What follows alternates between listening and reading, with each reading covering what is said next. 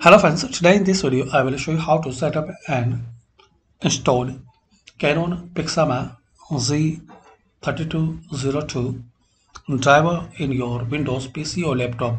So firstly open any web browser. Now here find out Canon printer driver. Now open this first link now here find out your drive like PIXMA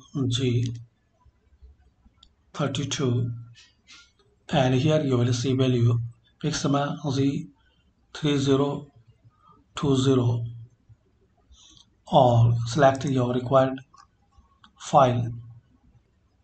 Now here guys you will see a list of driver you can select as your requirement from this list for example you need this driver so select it. So in this list select as your PC requirement. Then click on download. And once this will download install this uh, driver to your PC so this is the way guys you can download and install Canon driver in your Windows PC or laptop. Thanks for watching guys. Please comment this video useful for you or not.